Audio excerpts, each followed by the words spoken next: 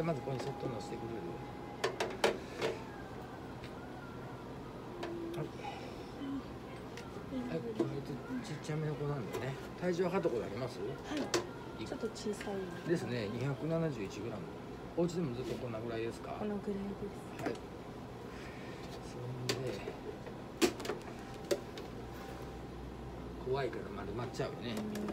ちょっとじゃあ。はいちょっと体こすって拭きをちょっと出しますね。で、そので手が出出てくれたらその拭きをちょっと調べますからね。はい食べ方が少しおかしい。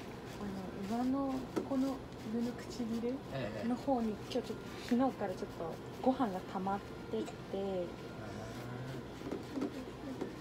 あのね、レンタルケアとかしてないですよね。なかなか難しいんだけどね、ハリネズミするの。一度今日まあ自分その手が2つしかないですからこう持ちながらこう本当は歯ブラシさせたいんですけど、うんうんそのこともちょっとお話しします。まず今拭き結構取れたから、い。それは調べてみます。ここにもあるね、でっかい拭きが。うん、割とお家では針も立たないですし、うん。噛まない子なので、そう。でまあここに来るとさ、はい、知らないとこだからさ怖いからさ。そうこういうふうになっちゃう子が多いですよね。そうなんだ。でもフケってさその、はい。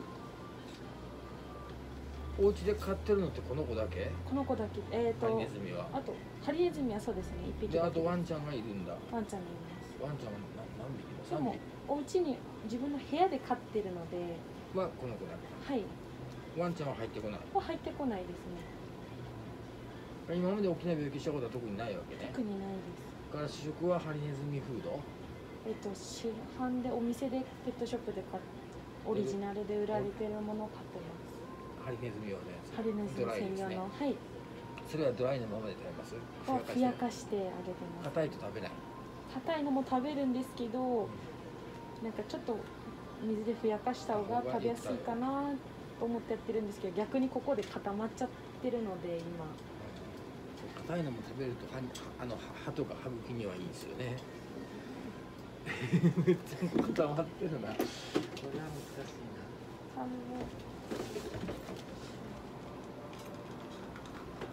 できました。できた。じゃあそれ先に深いをちょっと見てみます。ね、現実ね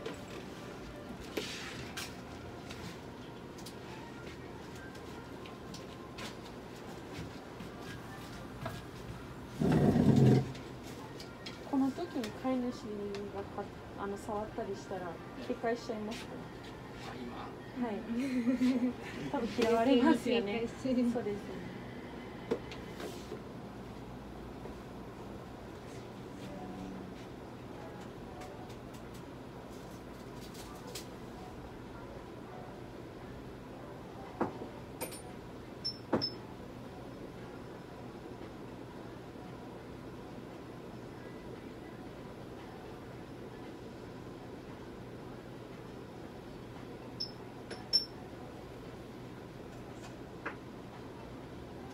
開いた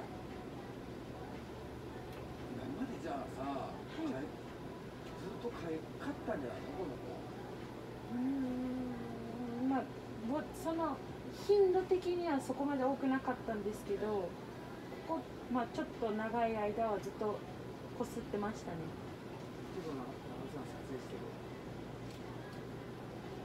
あとみ耳？